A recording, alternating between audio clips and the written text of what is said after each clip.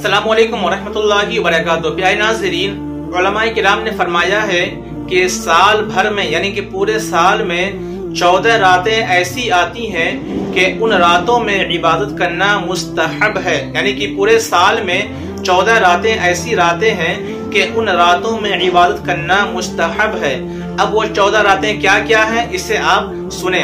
वो चौदह रातों में से पहली रात है मुहर्रम हराम की पहली रात आशूरा की रात, जिसे दस मुहर्रम हराम भी कहते हैं। इसी तरीके से रजब की पहली रात, रजब की पंद्रहवीं रात, रजब की सत्ताईसवीं रात, शाबान की चौदहवीं रात, जिसे शब रात भी कहते हैं। इसी तरह से अरफा की रात, इसी तरह से ईद की रात, इसी तरह से बकरीद की रात, इसी तरह से रमज़ान मुबारक के आखिरी अशरे की पाँच ताक रातें, यानी कि 21 रमज़ान की रात 23 रमज़ान की रात 25 रमज़ान की रात 27 रमज़ान की रात 29 रमज़ान की रात। तो ये कुल चौदह रातें हैं जिनमें इबादत करना मुस्तहब है तो अनकरीबी हमारे पास इन रातों में से एक रात, यानी कि शैब रात आने वाली है।